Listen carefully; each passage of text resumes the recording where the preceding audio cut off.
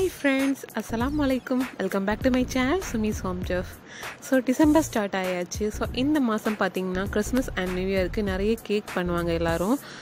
So அந்த வகையில் தான் இன்றைக்கி நம்ம ஒரு சூப்பரான சாஃப்டான பனானா கேக் பார்க்க போகிறோம் அதுவும் ஓவன் இல்லாமல் எவ்வளோ சாஃப்டாக செய்ய முடியும்னா நீங்கள் ட்ரை பண்ணலாம்ல ஸோ இந்த சாஃப்டான பனானா கேக் பண்ணுறதுக்கு ஓவனும் தேவையில்லை. அண்ட் ப்ரெஷர் குக்கரும் தேவையில்லை. நார்மலான தவாலையே பண்ண போகிறோம் நம்ப முடியலல்ல. அங்கே இந்த கேக் எப்படி பண்ணுறதுன்னு பார்க்கலாம்.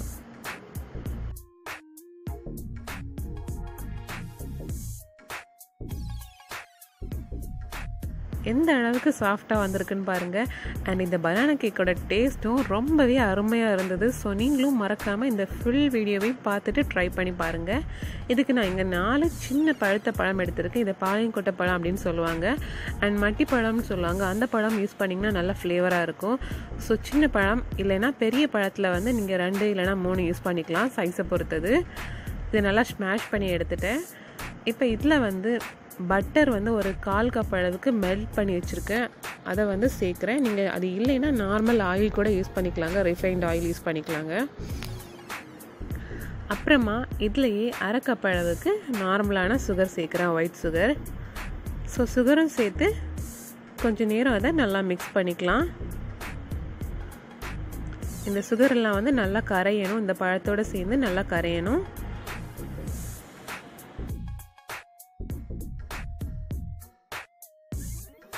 நல்லா மிக்ஸ் பண்ணதுக்கு அப்புறமா இதில் ஒரு டீஸ்பூன் அளவுக்கு பேக்கிங் பவுடரும் ஒரு கால் டீஸ்பூன் அளவுக்கு பேக்கிங் சோடாவும் சேர்த்துக்கலாம். அதுக்கப்புறமா இதில் ஒரு முட்டையை உடச்சி விட்டுக்கிறேன். ஸோ நீங்கள் வெஜிடேரியனாக இருந்தீங்கன்னா இந்த முட்டைக்கு பதிலாக ஒரு ஹாஃப் கப் அளவுக்கு திக்கான கேர்டு யூஸ் பண்ணிக்கோங்க. இப்போ இதை நல்லா மிக்ஸ் பண்ணிக்கலாம். அகெயின்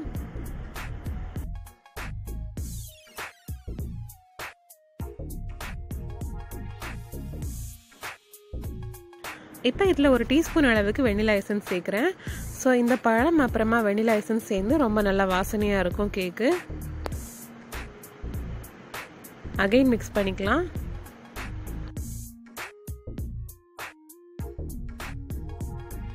அடுத்ததாக இதில் கொஞ்சமாக உப்பு சேர்த்துக்கலாம்.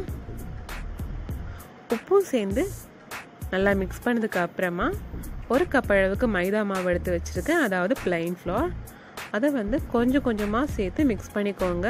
முதல்லையே எல்லாம் சேர்த்துட்டிங்கன்னா மிக்ஸ் பண்ணுறதுக்கு கஷ்டமாக இருக்கும். அதனால கொஞ்சம் கொஞ்சமாக சேர்த்து மிக்ஸ் பண்ணிக்கலாங்க. அவ்வளோதான் நம்மளோட சூப்பரான பனானா கேக்குக்கு பேட்டர் தயாராகிடுச்சு இதை இப்போ நாம் பேக்கிங் ட்ரேயில் பவர் பண்ண போகிறோம்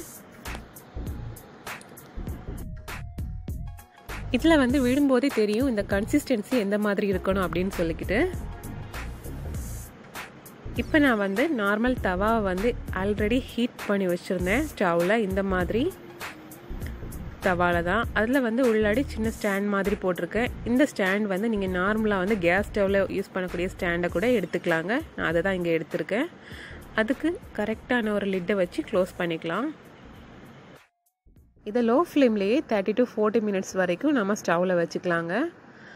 இப்போ இது ரெடி ஆயிடுச்சான்னு பார்க்குறதுக்காக நான் நைஃபை வச்சு செக் பண்ணி பார்க்குறேன் கலர் ரொம்ப அழகாக கோல்டன் கலரில் இருக்குல்ல கோல்டன் ப்ரௌன் கலரில். ஒட்டாமல் வந்திருக்கு சூப்பராக ரெடி ஆகிருக்குன்னு நினைக்கிறேன். இப்போ நாம் இதை ஸ்டவ்லேருந்து எடுத்து வெளியே மாற்றிக்கலாம்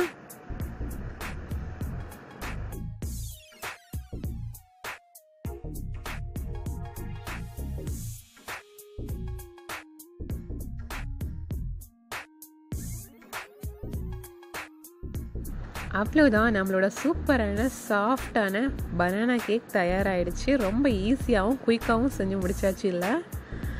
இதோட ஸ்டெப்ஸ் எல்லாமே ரொம்ப ஈஸி ஸோ நீங்களும் மறக்காமல் இதை ட்ரை பண்ணி பாருங்கள்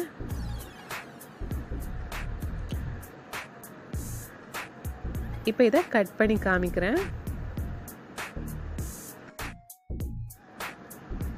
ஸோ நம்மளோட சூப்பரான பனானா கேக் வந்து ரொம்ப சாஃப்டாக வந்திருக்குது. ஸோ ஓவனே இல்லாமல் ப்ரெஷர் குக்கரும் யூஸ் பண்ணாமல் நார்மலாக நம்ம கடாயிலேயே செஞ்சு எடுத்தாச்சு. அண்ட் இந்த கேக் பண்ணிகிட்ருக்கும் போதே அந்த பேக் ஆகிட்ருக்கும் போதே ரொம்ப வாசமாக இருந்தது வீடு ஃபுல்லாக அதாவது நீங்கள் பழம் வந்து இந்த மாதிரி பாளையம் கொட்டை பழம் மட்டி பழம் சொல்லுவாங்கள்ல அதை நீங்கள் ட்ரை பண்ணுங்கள் அது கிடைக்காத பட்சத்தில் நீங்கள் வந்து நார்மல் ரைப் பனானா யூஸ் பண்ணிக்கலாம். பட் நல்லா பழுத்திருக்கணும். அதுவும் இம்பார்ட்டன்ட் தான் இந்த கேக் பண்ணுறதுக்கு இந்த வீடியோ கண்டிப்பாக உங்களுக்கு பிடிச்சிருக்கும்னு நினைக்கிறேன். அப்படி பிடிச்சிருந்துச்சுன்னா மறக்காமல் லைக் பண்ணுங்கள் ஷேர் பண்ணுங்கள் அப்படியே என்னோட சேனலை மறக்காமல் சப்ஸ்கிரைப் பண்ணுங்கள் தேங்க்ஸ் ஃபார் வாட்சிங் Please subscribe to my channel. Hit the bell icon and never miss any updates.